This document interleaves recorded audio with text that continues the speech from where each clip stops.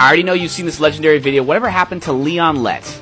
So unfortunately, Mr. Lett's career is pretty much defined by that play where he picked up the fumble, was running back for a touchdown, showboated early, and did not score.